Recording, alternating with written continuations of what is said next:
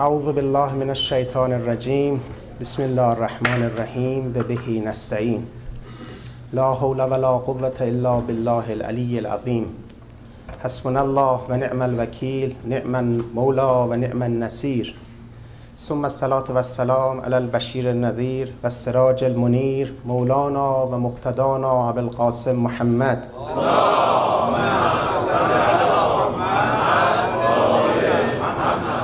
و علی اهل بیت الطیبین الطاهرین. قال الله تبارک و تعالی فی کتابه اعوذ بالله من الشیطان الرجیم. الم یعن للذین آمنوا ان تخشع قلوبهم لذکر الله؟ صدق الله العلی العظیم. روزی دزدی به سرقت به خانه مسلمانی رفته بود. روی دیوار نشسته بود. آن مسلمان داشت قرآن می‌خواند. به این آیه رسیده بود. الم یعن للذین آمنوا ان تخشع قلوبهم ذکر الله؟ آیا وقت آن نرسیده است که قلبهای شما خاشع شود نرم شود به یاد خدا؟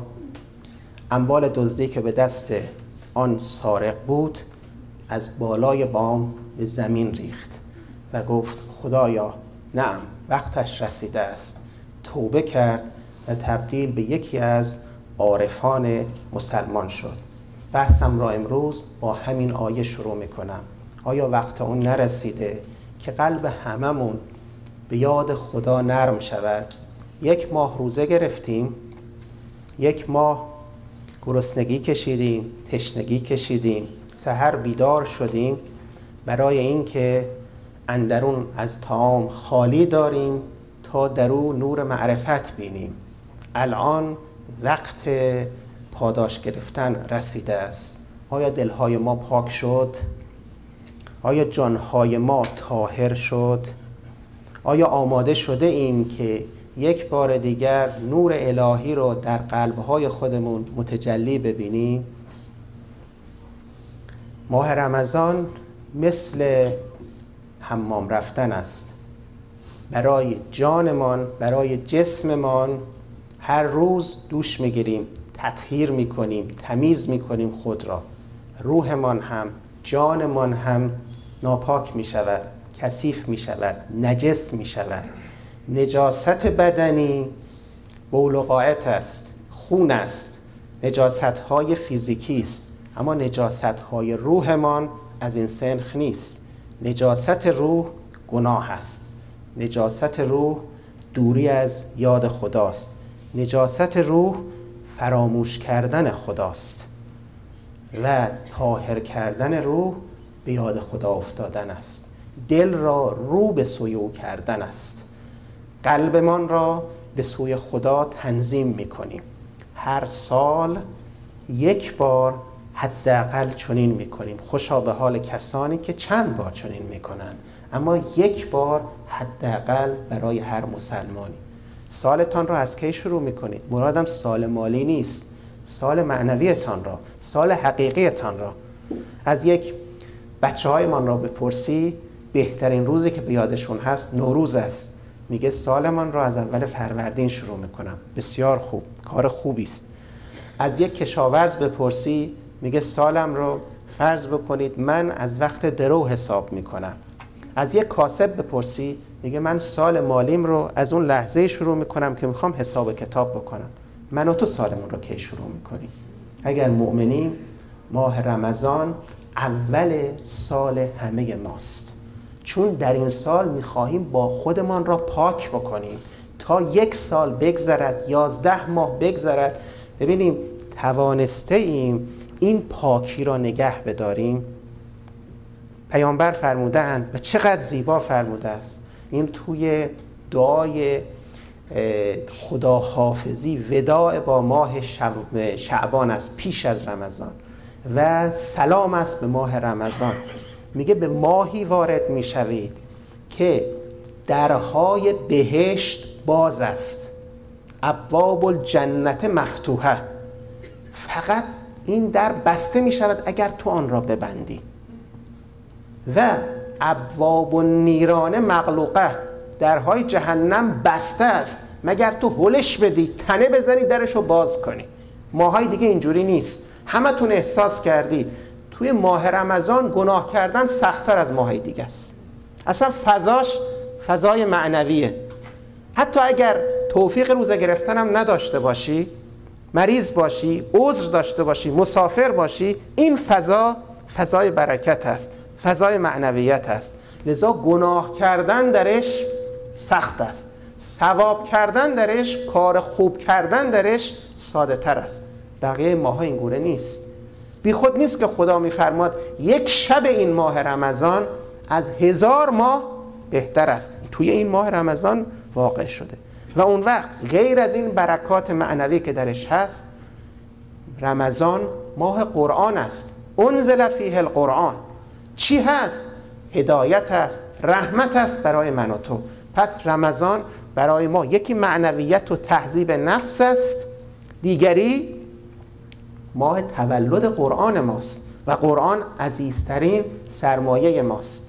مسلمان کسی است که در این ماه حداقل یک بار قرآن را دوره کرده. یک بار قرآن را تلاوت کرده. روزی یک جزء قرآن را حداقل خونده. اگر وقت بیشتری داشته چه بسا دو بار ختم قرآن کرده سه بار ختم قرآن کرده. اما یک بار حد یک حداقل ختم قرآن را کرده. اون سه با قرآن برایش ایجاد شده. نه اینکه دوباره قرآن را ببوسد تا ماه رمضان دیگه. یازده ماه دیگه هم در پیشه.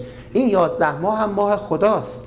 لذا توی اون روزها هم با قرآن معنوس خواهیم بود. به خدا قول می دهیم چون ارتباط ما با خدا از طریق این قرآن برقرار می شود حالا ممکنه در ماهای دیگه کمتر بخوانیم اما حتما می خوانیم رمضان وچه سومی هم برای ما دارد.